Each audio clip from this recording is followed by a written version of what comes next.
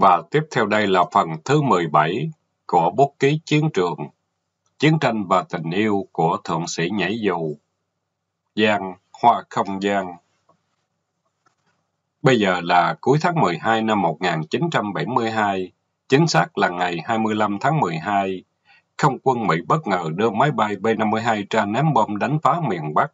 Mật độ những phi vụ ném bom ấy không biết một ngày là bao nhiêu chuyến. Tôi chỉ biết trên bầu trời Quảng Trị, Đông Hà, máy bay B-52 ngược xuôi như đi chợ, để lại những làn khói trắng trên trời xanh không bao giờ dứt. Dưới đất thì ầm vang trung chuyển bởi bom ném xuống như tận thế, khói từ bom nổ tạo thành những bức tường đen kịch bay lên trời cao che chắn cả bầu trời phía Bắc. Sự ác liệt của những trận không kích ấy được người miền Bắc họ ví như là trận đánh ở Điện Biên Phủ năm 54 và họ gọi là Điện Biên Phủ trên không. Chỉ nghe tên gọi của nó thôi, có lẽ chúng ta cũng hình dung được sự tàn phá khốc liệt của nó như thế nào. Cũng may không quân Mỹ họ chỉ ném bom có 12 ngày đêm và kết thúc. Tôi không hiểu tại sao chúng tôi đòi đánh chiếm lại hết phần đất bị mất thì họ không đồng ý. Thế nhưng lại đem B-52 ra tận miền Bắc để ném xuống, và hình như có vài chiếc bị bắn rơi trên bầu trời miền Bắc.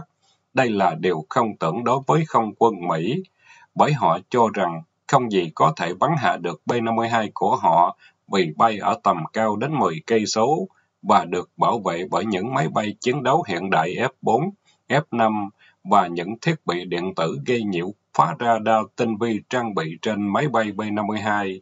Nhưng điều đó đã xảy ra. Đây là nỗi kinh hoàng cho US Air Force. Tình hình chiến trường lắng dịu đã tạo điều kiện cho những anh em cán bộ kỳ cựu thâm niên như tôi. Ngoài nghỉ dưỡng quân tập thể 15 ngày, chúng tôi còn được thay nhau nghỉ phép thường niên. Tiêu chuẩn là mỗi người lính được hưởng một năm một lần, 15 ngày, cộng với hai ngày đi đường nếu ở xa Sài Gòn. Đồng thời, việc nhảy dù bồi dưỡng một năm bắt buộc phải nhảy bốn xô cũng đang được lặp lại, nhưng không về Sài Gòn nhảy, và cũng không nhảy bằng máy bay C-130 như vẫn thường nhảy, mà nhảy bằng máy bay trực thăng. Ôi, nhảy dù bằng máy bay trực thăng mới thật là đáng sợ, nhưng được cái rất nhanh, không mất thời gian chờ đợi như ở sân bay.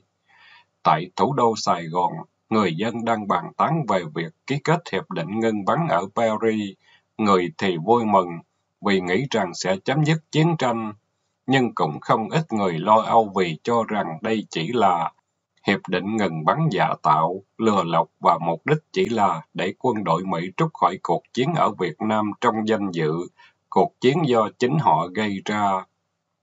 Thực hư thế nào hãy chờ xem. Suốt mấy năm trời, từ năm 1968, Hội nghị bàn về kết thúc chiến tranh cho Việt Nam được tổ chức tại Paris, thủ đô cổ Pháp.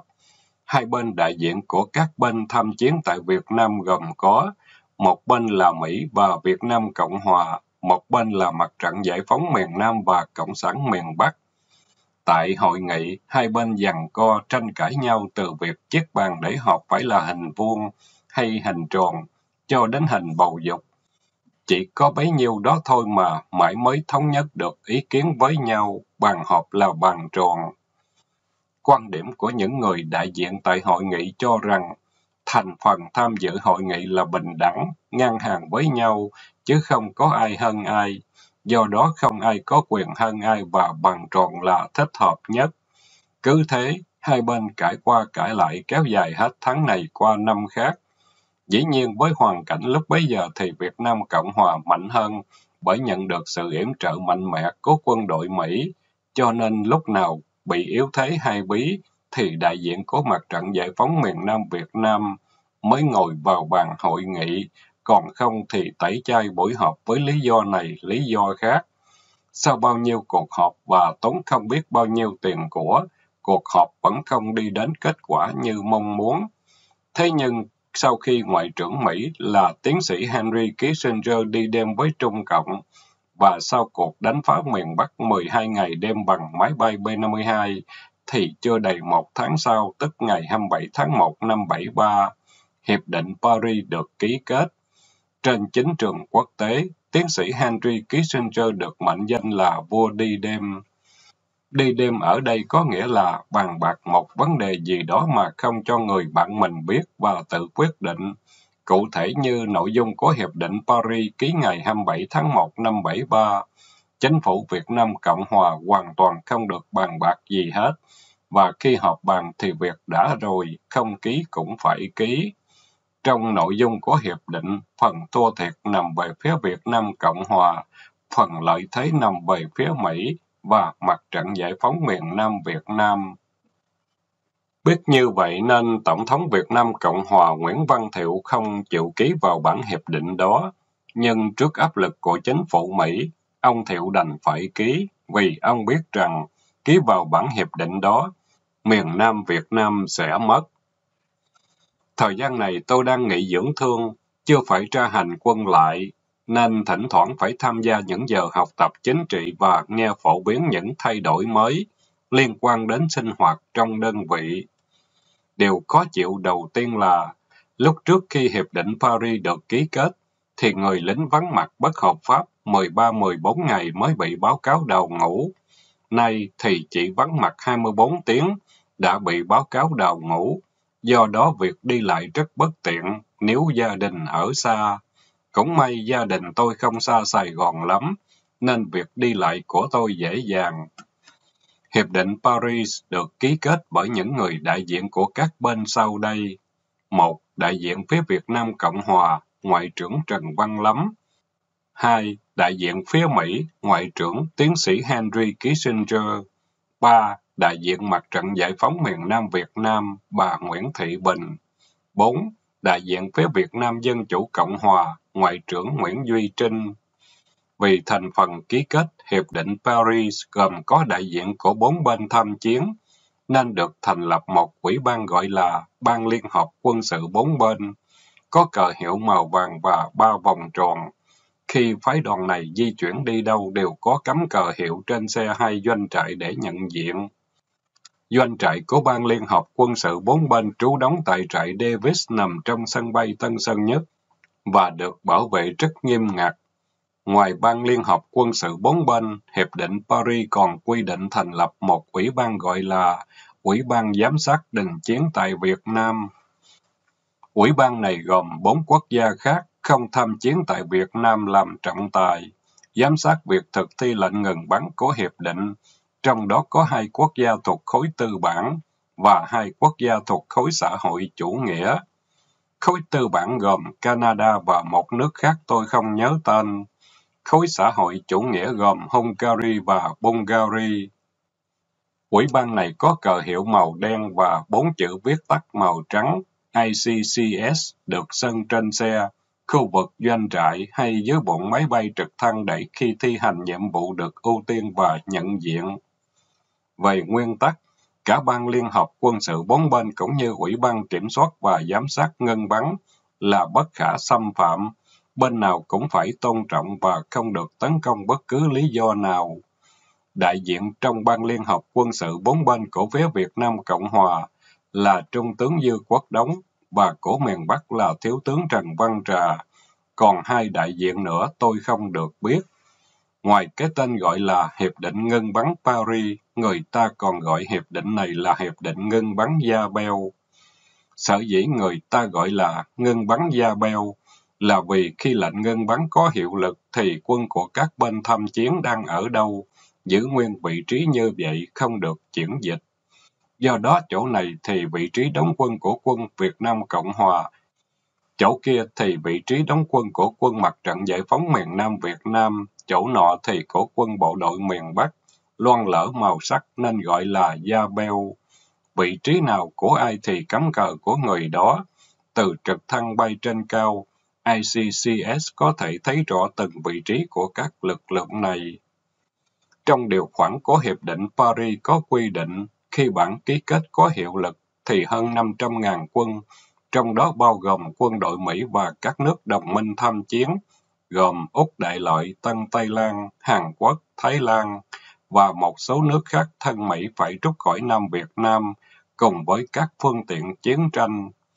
Đây là nỗi lo của chính quyền miền Nam Việt Nam vì hơn 500.000 quân đồng minh cùng với các phương tiện yểm trợ chiến tranh của quân đồng minh rút đi sẽ để lại một lỗ hổng rất lớn mà quân của Việt Nam Cộng Hòa không thể bù đắp nổi.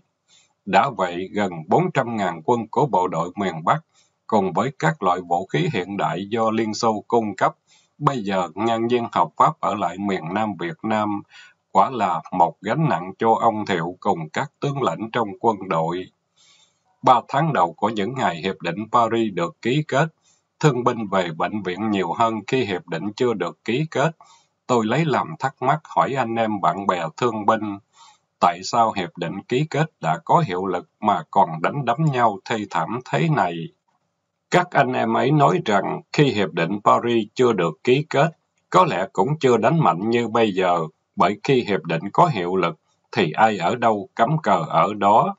Vì vậy, có một bên lẻn vào sau lưng bên kia cắm cờ của mình gần cờ của họ, một bên tự dưng ngủ dậy sáng ra thấy cờ của địch cắm kế bên cờ của mình. Thế là một bên bằng mọi giá nhổ cờ của địch đi và một bên cố giữ cờ lại để phô trương thanh thế. Do đó có những trận đánh quyết liệt gây thiệt hại nặng nề hơn khi chưa ngưng bắn. Người ta gọi đó là chiến dịch giành dân chiếm đất. Những ngày đầu của Hiệp định Paris có hiệu lực, súng vẫn nổ khắp nơi và những người lính nhảy dù bị thương vẫn đổ về bệnh viện Đỗ Vinh của sư đoàn nhảy dù ngày một nhiều hơn. Cả thế giới, chứ không nói chi riêng người dân miền Nam Việt Nam, mọi người bàng hoàng và ngỡ ngàng. Khi bản hiệp định ngừng bắn được các bên ký kết chưa ráo mực thì đã có vi phạm. Phía Việt Nam Cộng Hòa thì nói, bên Việt Cộng vi phạm bắn trước, bên Việt Cộng thì nói, Việt Nam Cộng Hòa bắn trước, cứ thế hai bên đổ thừa qua lại cho nhau. Việc này thật hư như thế nào, chỉ có cấp chỉ huy chiến trường hai bên biết mà thôi. Chỉ tội nghiệp cho quân lính của hai bên, mặc dù hiệp định ngừng bắn đã có hiệu lực, họ vẫn không được nhàn nhã hưởng cảnh thanh bình của đất nước sau bao năm chiến tranh. Máu vẫn đổ, thương binh vẫn đổ về bệnh viện, và xác người vẫn nằm đâu đó trong rừng sâu núi cao, không một nấm mộ, không một tấm bia ghi họ tên, oan nghiệt quá. Sự vi phạm hiệp định ngừng bắn này không biết có được dự trù hay nằm trong bản hiệp định Paris hay không, và hướng giải quyết bên vi phạm như thế nào, ai giải quyết. Điều đó tôi không nghe đề cập đến, tôi chỉ nghe Tổng thống Thiệu nói, nếu Việt Cộng vi phạm bằng súng tiểu liên, ta sẽ đáp trả bằng súng đại liên. Nếu Việt Cộng vi phạm bằng súng cối, ta sẽ đáp trả bằng pháo binh. Và nếu Việt Cộng vi phạm bằng pháo binh, ta sẽ dội bom. Tuyên bố thì cứng rắn như vậy, nhưng thực tế chẳng làm được bao nhiêu, vì rất khó giải quyết những sự vi phạm này. Bởi Việt Cộng vi phạm đâu, quốc tế không thấy, họ chỉ thấy không quân Việt Nam Cộng Hòa mang bom đi ném mà thôi. Do đó nói được nhưng không làm được. Sự vi phạm hiệp định ngưng bắn, hai bên chỉ la làng lên thôi.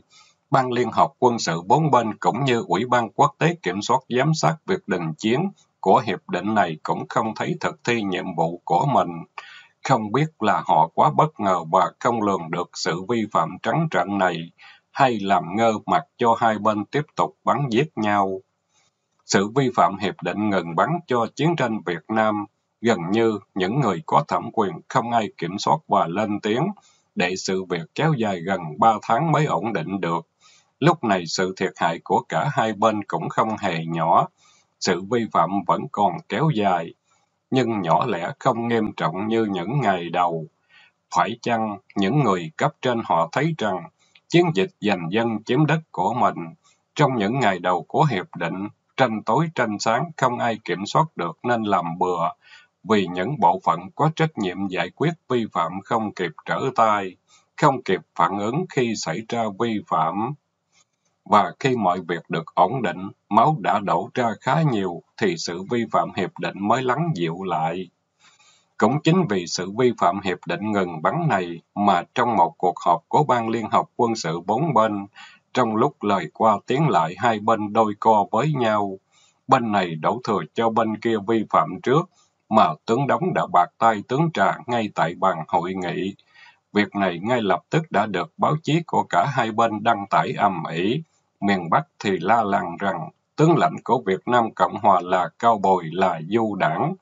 Còn báo chí Sài Gòn thì cho rằng chính vì tướng trà cải chày cải bướng, tướng đóng không chịu được nên mới xảy ra cớ sự.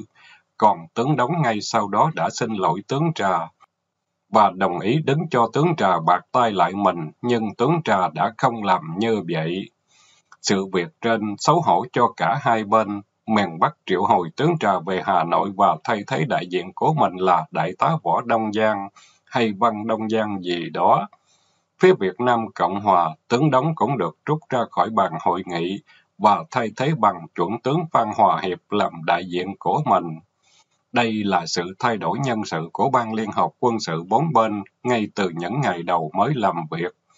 Trong nội dung của bản Hiệp định Paris có quy định, khi bản Hiệp định bắt đầu có hiệu lực, thì trong vòng 60 ngày, quân Mỹ và các nước đồng minh phải rút toàn bộ khỏi Việt Nam.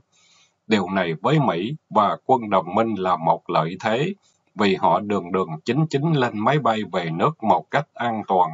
Họ không bị mang tiếng là thua cuộc và tháo chạy như ở Khe Sanh năm 1967. Nhưng với Việt Nam Cộng Hòa thì đây là sự thua thiệt to lớn và đầy nguy hiểm, bởi vì hơn 500.000 quân Mỹ và đồng minh rút đi, để lại một khoảng trống rất lớn mà quân của Việt Nam Cộng Hòa không thể có đủ để bố trí vào khoảng trống đó, cũng như khả năng kiểm soát là rất khó khăn. Chưa hết, chỉ riêng việc rút quân thôi đã gây khó khăn cho Việt Nam Cộng Hòa rồi.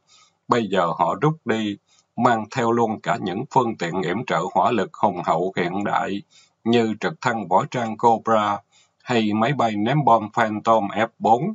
Trong đó có cả đại thất hạm đội ở ngoài khơi Thái Bình Dương cũng đi luôn.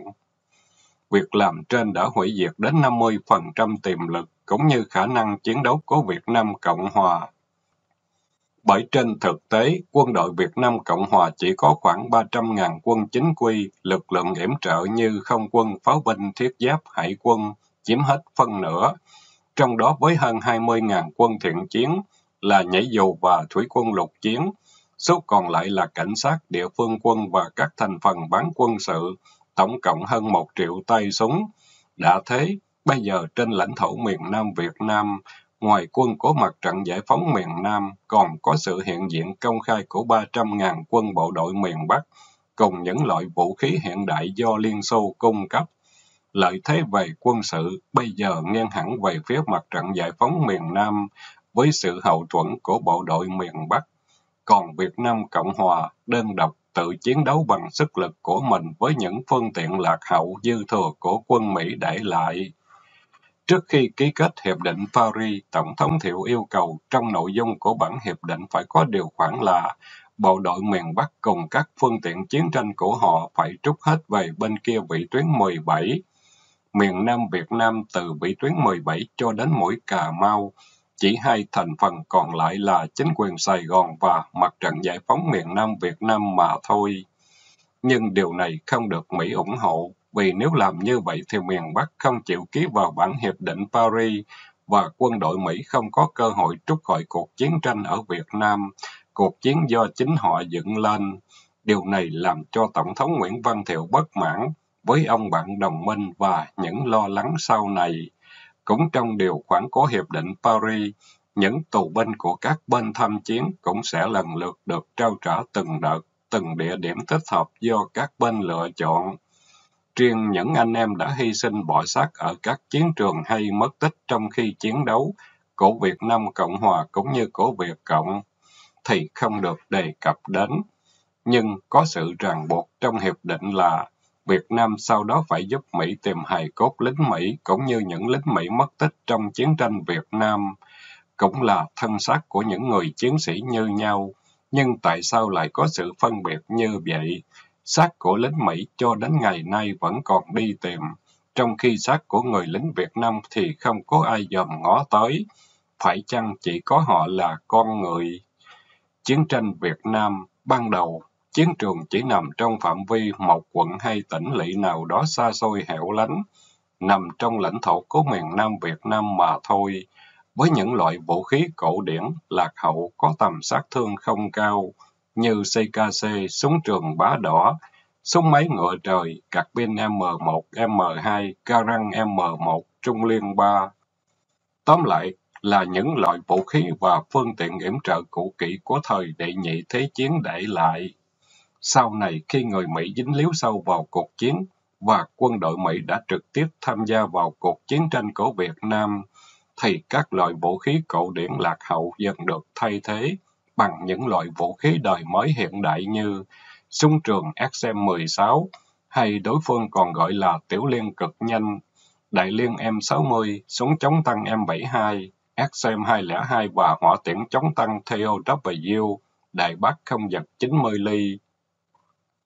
Để cân bằng hỏa lực khi giao tranh, đối phương với sự hậu thuẫn của Liên Xô và Trung Cộng cũng thay thế các loại vũ khí lạc hậu của mình bằng những loại vũ khí đời mới như AK-47, Trung Liên Nồi, B-40, B-41, cùng nhiều loại vũ khí khác như cao xạ 37 ly, 57 ly.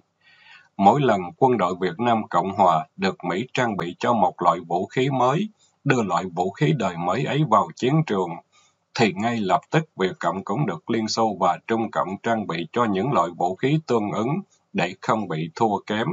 Hành động này người ta gọi là leo thang chiến tranh, và cũng từ đây chiến trường không còn nằm trong lãnh thổ miền Nam Việt Nam nữa, mà lan sang Campuchia và cả Hạ Lào.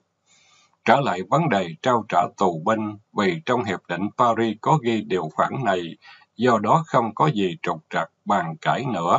Các bên chỉ tiến hành lựa chọn địa điểm và thời gian thích hợp mà thôi.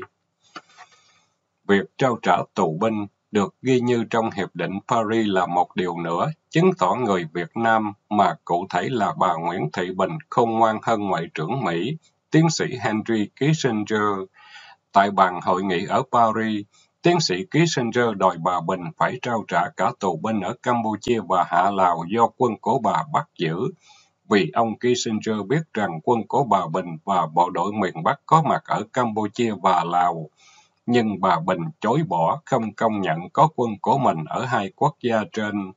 Nếu bà Bình đồng ý trao trả tù binh ở Campuchia và Lào, có nghĩa là bà Bình đã thừa nhận quân của mặt trận giải phóng miền Nam Việt Nam và bộ đội miền Bắc Việt Nam có mặt trên lãnh thổ của hai quốc gia này. Vấn đề sẽ phức tạp hơn vì liên quan đến quốc tế. Không còn gọi là mặt trận giải phóng miền Nam Việt Nam, do người dân miền Nam Việt Nam nổi dậy chống đối chính quyền nữa, và có thể đây là cái cớ để quân đội Mỹ kéo đánh thẳng ra miền Bắc. Vì thế, trước yêu cầu gian bẫy của Ngoại trưởng Mỹ, bà Bình đã khôn ngoan trả lời rằng, tôi không có quân bên đó, thì lấy gì mà trao trả cho ông? Các ông đem quân qua đánh người ta, bị người ta bắt, thì bây giờ các ông kiếm người ta mà đòi. Một câu trả lời mà tiến sĩ ký sinh trơ đau đầu không làm gì được phải ký vào bản hiệp định Paris với nhiều thua thiệt cho cả Mỹ và Việt Nam Cộng Hòa.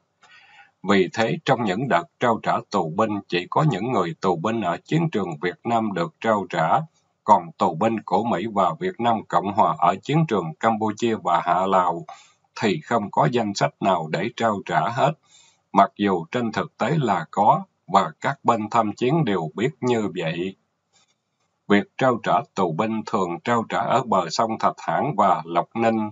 Ngoài đại diện Ban Liên Hợp Quân sự bốn bên làm việc, còn có sự giám sát của một ủy ban kiểm soát và giám sát đình chiến tại Việt Nam.